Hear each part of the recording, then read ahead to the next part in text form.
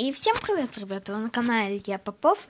И сегодня я вам покажу, ну, сниму, можно сказать, обзор на Валеру. Моего паука, который у меня живет здесь. Это вид э, крупная стеодота или ложная вдова.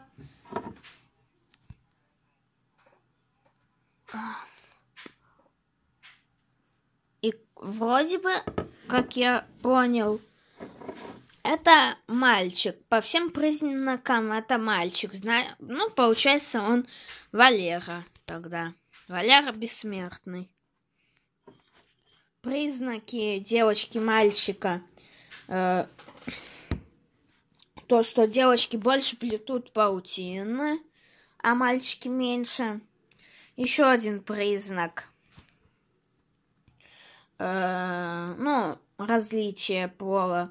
То, что у девочек больше вот это попка, брюшко, как сказать. Ну вот. Вон у него три палочки, две сплетены в одной паутине, а третья вон новая, и на ней он еще ничего не успел сделать. Здесь еще должна быть земля, но пока что только один кусочек. Доставать я его не буду.